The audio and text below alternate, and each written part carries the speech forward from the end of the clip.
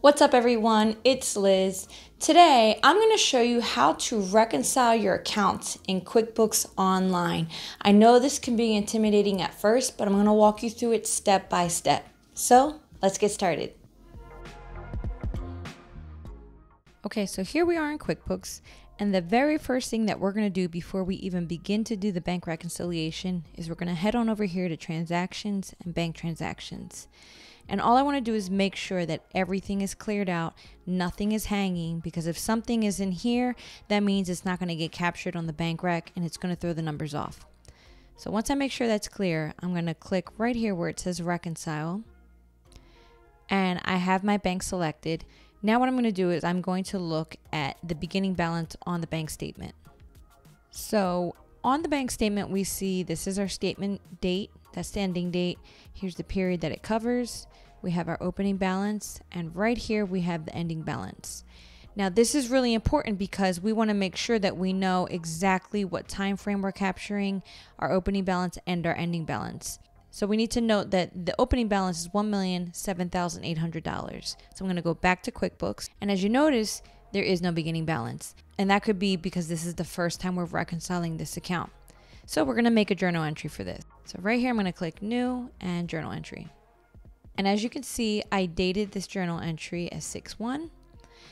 I selected my bank and I'm going to debit the bank by that 1 million because it's going to increase on the debit side whenever I'm dealing with assets.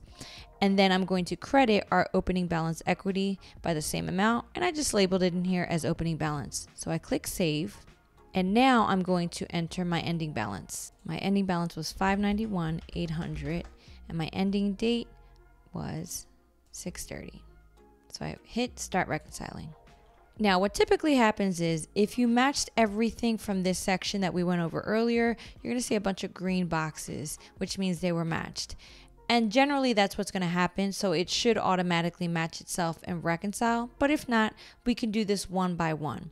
So if I select each item and I just go back and forth between what I have in here and what's on my bank statement, I'm going to balance out. So your goal is always to end here at zero. But what I always tell people is check what your payments were, check what your deposits were before you reconcile. If you have anything that's hanging in your bank rec, that's a red flag. Now, the only time something would be hanging is if it hasn't cleared yet. So that can happen if you write a check and the person hasn't cashed it yet and the month is over and that hasn't been withdrawn, that's okay.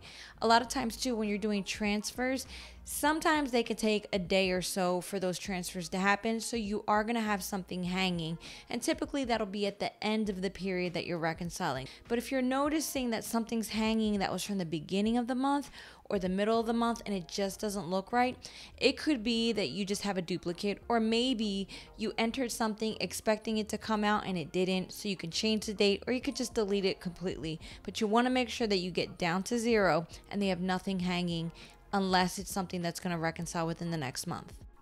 So once I see this green box right here, I'm going to click finish now and done and we just reconciled our accounts. You do the same thing for every account that you have. So if you have a savings account, you would select it. If you have credit cards, it's the same process. And that's it. Make sure you check out the other two videos that I made. One is on five common mistakes that people make when they reconcile their accounts, and the other is how to fix a beginning balance when it's off. I'll link those videos below. Make sure you subscribe to my YouTube channel for more helpful tips and tricks. Until next time, ciao!